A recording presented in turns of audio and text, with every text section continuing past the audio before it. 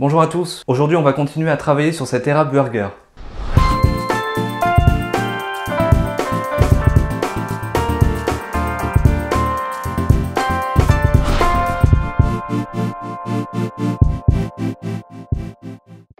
Alors cette vidéo c'est la continuité des travaux que j'avais déjà fait en automne l'année dernière. J'avais fait une taille drastique sur cet arbre. Depuis que j'ai cet arbre j'ai fait deux grosses interventions.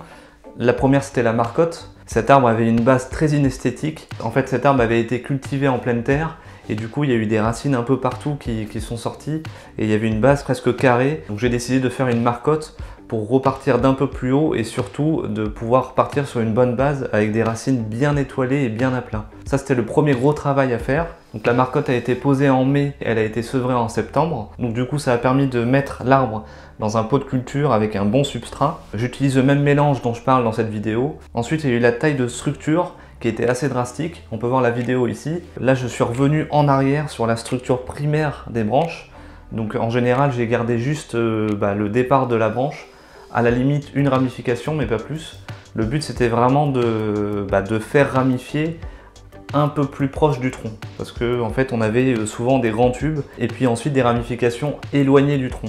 Et là ce que j'ai voulu c'était faire une vraie sélection du système secondaire, donc le départ des branches, et puis euh, privilégier des ramifications proches du tronc. Il y a eu aussi une sélection de la ligne de tronc, parce que la ligne de tronc pour moi en fait elle montait trop haut et elle était trop euh, droite. Il y avait une partie en fait euh, à ce niveau-là qui vraiment pour moi c'était un tube droit et il n'y avait pas de conicité. Moi mon but c'est d'avoir une super conicité sur cette arme, donc avoir une grosse base en bas et puis que ça s'affine au fur et à mesure. C'est pour ça que j'ai coupé la tête la dernière fois pour que je puisse repartir sur une branche en bas. Euh, là, je suis super content parce qu'il y a eu beaucoup de départs autour de la coupe. C'est la majorité des tiges en fait qu'on voit. Et moi, ce que je vais faire, c'est repartir sur une tige qui est un peu plus bas. On, va essayer de voir ça un peu plus près. Mais concrètement, c'est cette tige-là. Et euh, ça suit en fait la, continuité du tronc. J'avais coupé un endroit où il y avait une branche qui, qui partait un peu vers le haut. Et je m'étais dit que a une tige qui repart d'un des bourgeons vers le haut, là ce serait notre future tête. Et je suis content parce qu'il y en a une. Alors elle est placée un peu en avant, mais c'est pas plus mal parce que comme ça la tête va vraiment se diriger vers l'avant. Et du coup je vais pouvoir me séparer encore d'une partie de la tête, donc on va encore pouvoir redescendre. Et par contre cette taille je vais pas la faire aujourd'hui, on va laisser le, le moignon en fait. Je vais couper toutes les branches qui sont sur cette partie. Par contre on se séparera vraiment de cette partie quand je ferai une taille de structure en automne. Donc aujourd'hui euh, taille de sélection, je vais garder vraiment les tiges qui m'intéressent. Je vais éliminer celles qui ne vont pas rester. Je vais aussi peut-être réduire la, longueur des tiges, sauf si je veux la laisser grossir. Et puis, euh, comme je vous ai dit, éliminer les grandes pousses apicales euh, dont je vais pas me servir, notamment sur la partie du tronc qu'on va éliminer. Là on est au mois de mai, donc c'est une taille en verre, on va tailler des choses qui sont pas encore lignifiées, et puis taille de sélection, on va vraiment se séparer des fois de, certaines tiges qui poussent dans la mauvaise direction, typiquement euh, soit directement vers le bas, directement vers le haut, qui dépassent un certain angle par rapport à la branche, par exemple qui se dirige vers le tronc au lieu de se tourner vers l'extérieur. C'est à peu près la même démarche que je fais pour tous les feuillus. Donc pour ce travail j'ai que deux outils, une pince concave oblique pour les grosses branches, et puis une paire de ciseaux simples. Alors juste avant la vidéo, je me suis permis de nettoyer le pot. Je sais qu'il y en a parmi vous qui supportent pas voir les petits trèfles qui poussent sur mes pots. En fait, il y a deux raisons. Un, bah, ça prend beaucoup de temps en fait hein, à chaque fois de les éliminer. Et deux, j'aime bien les garder sur certains pots, notamment au printemps et en été, parce que ça garde de l'humidité. Par contre, effectivement, il ne faut pas que ça, prenne trop d'ampleur, que ça, ça, tige, parce qu'après ça prend de la place dans le pot. Le pot se remplit vite de racines qui sont inutiles. Donc on va se rapprocher et puis on va commencer à travailler. Alors on va commencer avec cette première branche. On l'avait taillée à cet endroit-là, et puis j'avais laissé une petite ramification. Donc là on voit qu'il y a eu euh, bah, quelques apparitions de feuilles, mais la grosse majorité du rebourgeonnement en arrière s'est fait en fait sur trois tiges. Donc désolé avec les feuilles, on ne doit pas très bien voir, mais on a une tige derrière et deux autres tiges ici elles sont presque côte à côte, hein, on va devoir en choisir une. Je pense que je vais supprimer celle qui est très proche du tronc parce qu'elle est vraiment trop proche. Bon, il y a toujours cette cicatrice. Je me souviens qu'il y a quelqu'un dans les commentaires qui m'avait dit je pense qu'il faudrait supprimer cette première branche et recommencer du, début. Alors après, euh, c'est vrai que moi j'hésite à faire ça parce qu'elle est super bien placée. J'aime bien son mouvement ici. Une coupe comme ça peut se rattraper. Après, si je vois vraiment que ça, ne fonctionne pas du tout, effectivement, on pourrait repartir de zéro mais ça va prendre beaucoup beaucoup de temps. On voit bien l'effet de la coupe, hein. on a coupé à cet endroit-là, et puis il y a eu bah, du coup trois tiges, quatre tiges hein, même, une quatrième ici. Donc là on voit la branche vue de face, on voit bien les quatre tiges qui ont poussé, donc une ici, une devant là, et puis les deux autres qu'on a vus tout à l'heure. Ces tiges vont permettre de faire la continuité de la branche. Donc moi je pense que je vais en garder deux. Je vais garder en fait celle qui est la plus loin parce que celle qui est derrière est trop proche du tronc et en plus elle se situe au même niveau que celle de droite. Donc là déjà on va pouvoir couper. Donc celle qui repart un peu vers l'arrière c'est pareil, je vais la supprimer. Voilà et du coup on se retrouve avec la structure de base de notre branche avec le départ et puis deux ramifications qui vont partir. Je vais laisser tiger pour qu'elles grossissent et une fois qu'elles auront un bon diamètre, typiquement euh, ce, diamètre-là, et bah, euh, bah, je retaillerai en arrière et puis ça va se re-ramifier, etc. Et la branche va se développer au fur et à mesure. Là, on arrive sur cette branche. Euh, il y a eu deux émissions de tiges, donc une ici qui est très forte, par contre, elle se dirige complètement vers le haut. Après, ça peut être intéressant qu'on garde un mouvement comme ça vers le haut. Ça permettrait en fait de contrebalancer le fait que ces deux tiges soient à peu près euh, au, même euh, niveau. Il y a aussi une autre tige ici qui a poussé vraiment en fait euh, pile derrière la coupe. Donc ça c'est très intéressant, ça fait vraiment la continuité. En plus on a une diminution de diamètre, donc là au niveau de la conicité on est bon. Donc ça ce sera la, continuité de la branche, je vais la laisser tiger hein, pour que le diamètre augmente. Je vais couper un peu plus haut là où c'est vert comme ça, avec un peu de chance, ça va rebourgeonner euh, derrière, idéalement sur la branche. Et si jamais ça donne rien, je me séparerai complètement de cette tige euh, lors de la taille de structure. Alors là, on a un cas assez similaire. Le fait d'avoir coupé à cet endroit, il y a eu une tige ici qui s'est développée et une derrière, directement sur le tronc. Donc celle-ci, je ne vais pas pouvoir la garder parce que là, pour le coup, elle se dirige, elle est vraiment au même niveau que cette branche. Celle-ci est un peu plus basse, donc ça, évidemment, je garde. Donc celle-ci, je m'en sépare complètement. Et puis pour celle-ci, bah, c'est pareil, en fait, elle se dirige directement vers le haut. c'est vraiment 90 euh, degrés. C'est pas idéal, donc je vais la tailler ici. Avec un peu de chance, ça va se redévelopper euh, ici ou directement sur la branche. Après, le but, c'est si je peux avoir un mouvement comme ça qui monte vers le haut, c'est bon. Hein. Mais les tiges qui montent parfaitement perpendiculaires comme ça à la branche, pour moi, c'est pas, pas ce que je cherche à avoir. Alors, on va se retourner, on va derrière l'arbre. Voilà, je suis tombé sur une araignée Donc cette branche évidemment elle a été coupée ici. Ça a donné en fait deux, branches. La branche se divise en fait en deux. Donc ça c'est exactement ce que je voulais chercher. Euh, par contre je vais juste me séparer de quelques feuilles qui montent vers le haut. Je vais en fait garder à chaque fois deux feuilles euh, sur chaque bourgeon. Oui, en fait, en regardant de plus près, il y en a deux bourgeons. Il y en a un ici et un ici. Je vais faire comme l'autre branche, je vais garder deux ramifications, une de chaque côté. Par contre, je vais essayer de faire en sorte qu'elles ne soient pas alignées. Donc je vais supprimer celle qui est devant pour garder que celle qui est derrière. Comme ça, j'en ai une derrière, une ici, et elles sont vraiment en, quinconce. Là, ça permet de voir deux branches qui n'y étaient pas du tout. Hein. C'est-à-dire que là, c'est vraiment des émissions de bourgeons directement sur le tronc. Ça nous offre deux nouvelles branches. Alors après, à voir si elles peuvent être intéressantes, elles se situent à l'arrière. Donc ça permettrait de remplir l'arrière et de faire grossir cette partie. Ça peut toujours être intéressant, donc je vais les garder et puis on verra à la taille de structure si on les garde ou si on s'en sépare. Donc pour l'instant je fais la sélection des branches et puis après on verra si je reviens sur des longueurs ou pas. Alors maintenant on arrive euh, à la tête. Donc en fait l'ancienne tête et puis euh, donc là il y a énormément de feuilles, hein, j'espère qu'on voit bien, mais il y avait en fait la continuité du tronc à ce niveau-là et l'émission de la nouvelle tête. Je vais garder en fait le, tronc et je vais partir sur la gauche avec cette, cette future ligne. Par contre, tout ce qui est au-dessus de mon doigt, je vais supprimer justement pour partir sur la gauche. Donc là aujourd'hui, je vais me séparer en fait de toutes les tiges qui poussent sur cette partie de tronc. Et puis lors de la taille de structure, on pourra se séparer complètement de cette partie.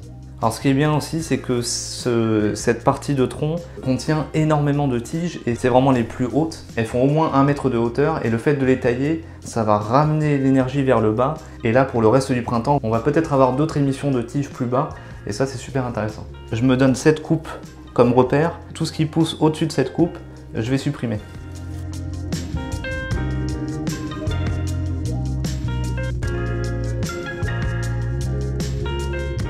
Voilà, donc toute cette partie, il n'y a plus de tiges et plus de feuilles. Le but, c'est vraiment de séparer de cette partie-là à cet endroit-là pour que le tronc continue euh, sur cette branche. Donc au final, la ligne de tronc, elle commence ici. Il y a ces petites courbes ici. Et puis au final, on va partir vers la gauche. Et cette continuité de tronc, elle se poursuit en fait avec deux tiges. Donc une qui pousse vers le haut, donc ça c'est vraiment très bien placé. Euh, bon, je vais, la, je vais, la, mettre sur le côté pour pas que ça gêne. Il y a une autre tige qui pousse en fait vers le bas et puis qui se remet à remonter. Euh, Celle-là, elle n'est pas super bien placée. Par contre, je vais la garder parce que ça permet de faire grossir justement cette partie-là. Le but, c'est quand même d'affiner en fait la diminution de diamètre entre ici et puis ici. Donc là, il faut que je laisse tiger pour continuer à faire grossir cette partie-là. Et ensuite, en automne, je vais pouvoir me séparer de cette partie-là. Donc je vais couper ici. Et puis là, il faudra bien cicatriser à cet endroit pour que ce soit bien lisse et puis qu'on ait une bonne continuité de tronc. Voilà, le travail de sélection est terminé. J'ai gardé vraiment les tiges que je voulais garder pour la structure de l'arbre. Là, euh, on n'est plus en train de travailler vraiment sur la structure, on est plus en train de travailler sur la première ramification du système secondaire, des branches qu'on a gardées lors de la taille de structure. Euh, d'ailleurs des branches, donc on a la branche principale, deux branches secondaires, une branche à l'arrière. On a deux autres branches à l'arrière qui sont bien placées. Je vais les laisser se développer, on va voir ce que ça va donner. Ensuite ici on a une émission d'une toute petite branche qui pourrait faire une branche avant. Et puis ensuite on a la continuité du tronc qui pour l'instant est composée juste de deux tiges que je vais laisser se développer pour faire grossir cette transition. Et puis lors de la taille de structure en automne, je vais pouvoir revenir en arrière et ça va se redensifier et ainsi de suite. Donc chaque année, en fait, euh, ça va être taille de structure en automne et au printemps, une à deux tailles en verre pour ramifier et pour faire des sélections de tiges. Et au fur et à mesure, je vais construire mes branches et on verra ce que ça donne. Mais ce que je vois, c'est que lors de la taille de structure, j'ai taillé en revenant vraiment en arrière sur le système et ça m'a permis de ramifier chaque petite branche à chaque fois.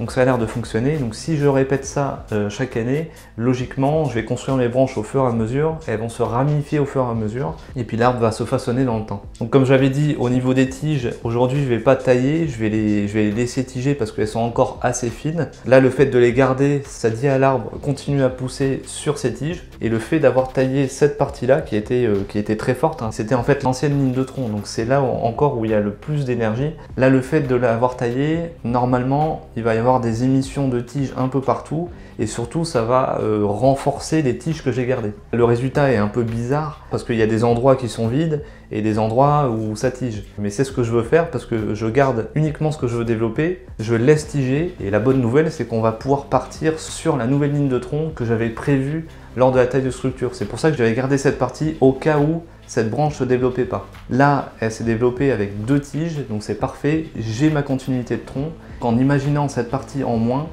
on va pouvoir imaginer le futur de l'arbre. Il faut vraiment imaginer en fait une euh, tête ici, une première branche bien développée, et puis des branches tout autour de la ligne de tronc. Alors j'ai aussi envie de parler un peu des feuilles. Avant, quand j'étais sur mon balcon, en fait, il y avait le béton qui chauffait beaucoup, il y avait des fois du soleil direct que j'avais du mal à masquer, et surtout il y avait du vent. Et j'avais remarqué que toutes les feuilles, à chaque fois, elles se recroquevillaient et il y avait le bout qui était un peu euh, noir. J'en ai quelques-unes ici parce que j'ai quand même aussi du vent euh, dans le jardin, mais moins. Et là, je remarque que les feuilles sont de meilleure qualité parce que j'ai protégé le haut avec l'ombrière à 50% et j'ai protégé en fait avec des canisses pour essayer de couper le vent et je remarque que la, feuille réagit euh, mieux, elle est beaucoup plus belle. Moi la leçon que j'en retire c'est que vraiment il faut éviter le vent sur le feuillage et éviter qu'il y ait trop de forte chaleur, surtout du soleil direct, parce qu'après le bout, euh, le bout crame en fait et ça fait des feuilles qui sont pas jolies. L'autre chose que je remarque c'est que sur chaque tige en fait on a deux feuilles opposées qui poussent au même endroit et puis ensuite on a des toutes petites feuilles. Et ces toutes petites feuilles, justement, c'est vraiment ça que j'aimerais avoir sur tout l'arbre. Des feuilles toutes petites. Pour le coup, j'ai pas encore joué sur l'arrosage, l'engrais, etc. Comme là, je veux faire tiger, j'engraisse vraiment toute l'année. Donc printemps, automne. Le jour où je travaillerai sur la densification, la ramification et la taille, euh, la diminution de la taille des feuilles, là je vais devoir travailler sur l'arrosage, le diminuer un peu, et aussi retarder l'engrais, en donner moins déjà, et puis le retarder dans l'année pour qu'il parte au printemps sur ses réserves et qu'il fasse des feuilles un peu plus petites. Là pour l'instant j'en suis pas là, on a des grosses feuilles, c'est de la culture, ça tige. Je continue à l'embrasser à l'organique, il est toujours en exposition mi-ombre, il a un peu le soleil du matin, il a le soleil du soir, et puis toute l'après-midi, il est sous ombrière à 50%. C'est une ambiance ombragée, mais qui est quand même lumineuse. Donc là, le fait d'avoir éclairci, ça va faire rentrer plus de lumière, et logiquement, ça va se redévelopper un peu partout. Ce que je peux faire aussi, c'est prendre les plus grosses feuilles et les couper euh, en diagonale pour garder une toute petite partie. ça va réduire la, surface totale photosensible de l'arbre et lui va vouloir réémettre d'autres feuilles pour compenser la perte de surface et ces feuilles elles seront plus petites. Donc ça c'est ce que je peux faire. C'est comme un effeuillage partiel sauf que là je travaille que sur la surface des feuilles existantes. Je vais pas supprimer des feuilles. Donc euh, en fait toutes les plus grosses feuilles je vais pouvoir les, les prendre, je les plie en fait en deux et puis je viens couper en diagonale ça permet d'avoir une feuille euh, qui a une surface plus petite, donc c'est comme si on avait des petites feuilles, et l'arbre du coup, en réaction, il va vouloir générer des feuilles plus petites, typiquement c'est cette taille de feuille hein, qu'on cherche à avoir, donc ça je peux m'amuser en fait à le faire sur toutes les, toutes les feuilles qui sont un peu grosses, donc forcément ça fait des feuilles un peu bizarres,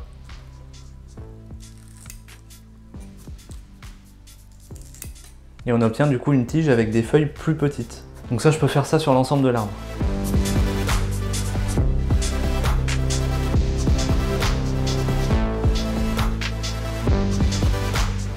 Alors là, pour les tiges, je me sépare simplement de la grosse feuille.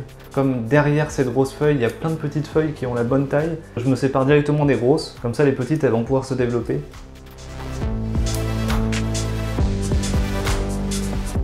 Alors on voit la longueur de cette tige, hein. c'est celle qui va me permettre de faire grossir la ligne de tronc. Voilà, j'ai fini la taille des feuilles. Alors juste pour vous montrer un exemple, je vous montre la différence de taille entre une feuille qui s'est beaucoup trop développée et une feuille qui était à l'intérieur de l'arbre. Et c'est vraiment cette taille qu'on cherche à avoir. Donc imaginez ce genre de feuille euh, avec beaucoup de ramifications sur l'arbre, c'est génial. On a vraiment un bonsaï, on a l'impression d'avoir un arbre miniature avec des toutes petites feuilles. Et ça, ça va demander du coup beaucoup de travail et beaucoup de technique pour arriver à ce résultat sur l'ensemble de l'arbre. Et ce résultat va s'obtenir par la gestion de l'arrosage, la gestion de l'engrais, euh, les tailles régulières, les feuillages partiels. C'est plusieurs techniques que je vais devoir pratiquer pour arriver à un bon résultat. Pour le moment, j'en suis pas encore à la densification et la réduction des feuilles, mais quand on y viendra, je connaîtrai l'objectif à atteindre. Voilà, cette vidéo est terminée. J'ai fini ce que je voulais faire. Donc on a fait une taille de sélection sur les tiges. J'ai voulu garder en fait la longueur des tiges pour les faire grossir. En automne, je vais me séparer de cette partie-là, donc qui est l'ancienne ligne de tronc, qui maintenant va être supprimée de l'arbre pour repartir sur une autre ligne avec un diamètre plus fin. Donc comme ça, on travaille vraiment la conicité de bas en haut. On en a aussi profité pour diminuer la surface des feuilles en les taillant. Ça va permettre de bien faire rentrer la lumière au sein des branches. Là, on est au mois de mai. Normalement, la réaction, ça va être de générer d'autres nouveaux bourgeons. Et en automne, on devrait voir le résultat. J'espère que ce travail vous a plu. Donc le résultat est un peu étrange, il n'est pas esthétique. Évidemment, c'est pas le but. Le but, c'est vraiment de laisser des tiges qui vont être utiles pour la construction des branches. Et puis on verra son évolution en automne euh, lors de la taille de structure pour bien voir ce qui s'est passé. Et ce qui va être bien, c'est qu'il n'y aura plus de feuilles, donc on va vraiment bien voir la structure et puis essayer de retravailler ça s'il y a besoin.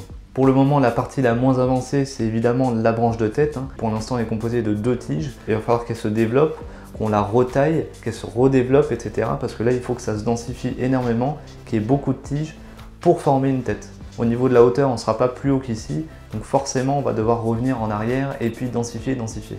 Voilà, j'espère que ce travail vous a plu, ça permet de voir un peu la réaction de la taille de structure. Moi je suis content, ça a très bien réagi et je trouve que ça évolue bien, en tout cas dans le bon sens, surtout avec la nouvelle tête où j'espérais vraiment qu'il y ait euh, un ou deux bourgeons qui se développent et c'est le cas.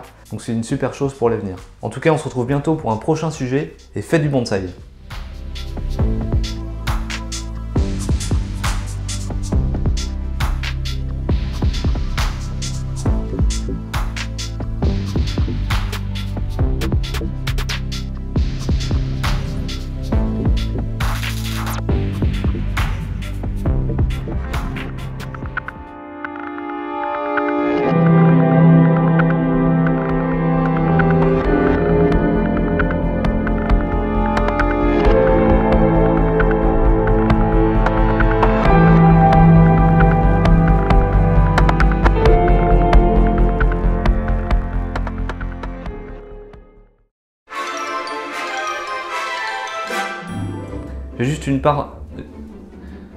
Donc du coup pour ce travail j'ai juste besoin d'une pince.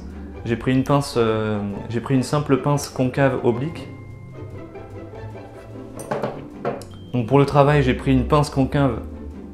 Donc pour le travail j'ai pris une pince co... Oh putain mais je suis complètement desséché. Voilà. I think it will be better. Là, on a une petite araignée. Là. Bref. euh, Coucou. Et toi? Alors je vais juste remettre l'arbre devant quand même. Voilà. Ça va réduire en fait la surface. euh, Comment je peux dire ça?